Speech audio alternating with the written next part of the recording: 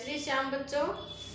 बच्चों, आज हम करेंगे क्लास ट्वेल्थ की एक्सरसाइज इलेवन पॉइंट थ्री का क्वेश्चन नंबर थ्री इसमें बच्चों इक्वेशन ऑफ़ द प्लेन जो है वो वेक्टर फॉर्म में है और हमें कार्टेशियन इक्वेशन निकालनी है तो इसके लिए बच्चों, सबसे पहले हमें जो ये आर वैक्टर है तो आर वैक्टर जो है वो एक पोजिशन वेक्टर है, एक ऐसे पॉइंट का जो प्लेन पर लाई करता है। ठीक है बच्चों? तो R vector is the position vector of the point x, y, z lie on the plane. ठीक है बच्चों?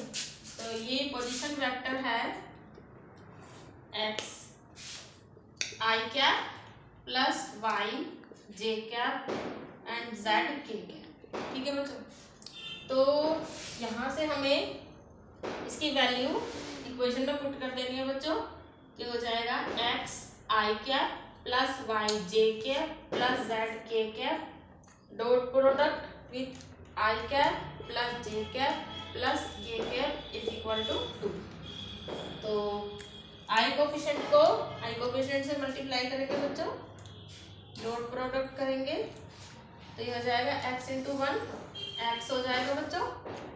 वाई इंटू वन वाई हो जाएगा बच्चों। जेड इंटू टू जेड हो जाएगा। तो X plus Y plus Z is equal to two तो ये जो है Cartesian equation of the plane है। तो ये जो क्वेश्चन नंबर थ्री है, इसके जितने भी पार्ट्स हैं बच्चों, वो इसी तरीके से सॉल्व होंगे। थैंक यू बच्चों।